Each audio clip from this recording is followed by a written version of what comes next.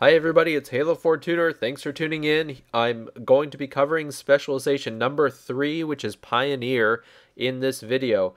If you haven't seen my general video that gives you an overview of all the specializations, go check that out. There's a link right here in the video.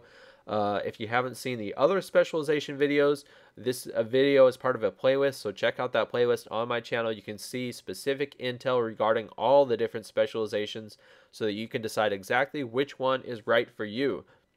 Now keep in mind that anytime you choose a specialization, you're going to be locked into that specialization for the next 10 ranks, and that can take you a while to rank up through all those specializations. So make sure to, to choose the right one, choose wisely, make an educated decision. You got to know what you're getting into so that when you complete it, you've got the uh, upgrade that, that you're looking for. Okay.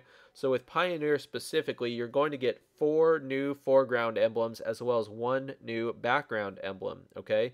You're going to unlock, as you see on the screen here, some new armor pieces, which is a new chest, shoulder, and helmet piece as well as the Pioneer visor, okay?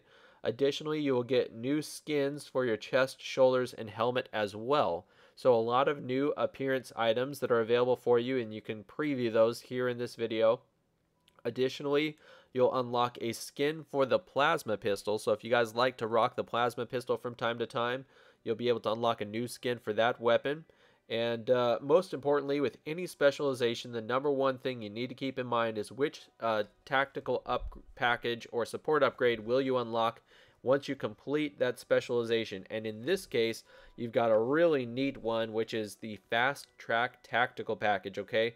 This one's very, very popular, and uh, let me tell you why. Because this package will advance you in level more quickly, giving you access to more of the weapons, armor, armor abilities, and other things such as emblems and uh, so on and so forth.